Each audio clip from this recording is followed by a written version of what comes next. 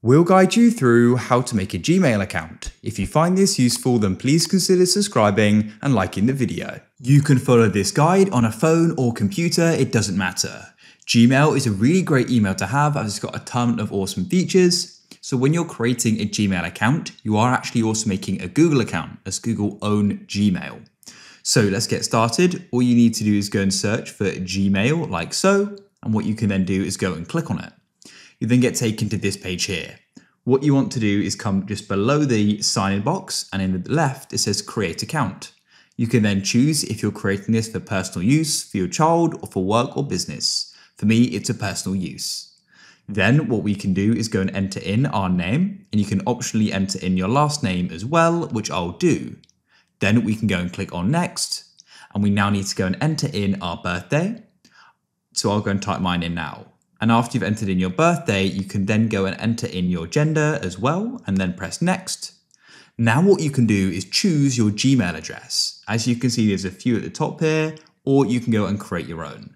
It's important to note that Gmail addresses are all unique, as well as any email addresses.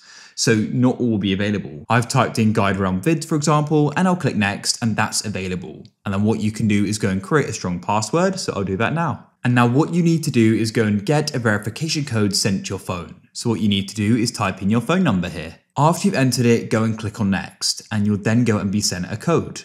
As you can see, I can go go and enter it. Optionally, you can go and add a recovery email if you want to, I'll skip that for now. And you can then see the info on your account. Now you can choose your settings. In this case, I'll go for Express and I'll go and click on next. So scroll through here and make sure you read it and understand it. I already have and I want to accept it, so that's fine.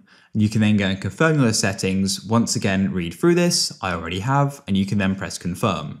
Now read through the privacy and terms. Once you have, you can then go and click on I agree, just like so. And just like that, you've now created your Gmail account. You can go and open up the Gmail app if you want and download if you're not already. I'll just use it in my browser for now, so I'll click on I'm not interested.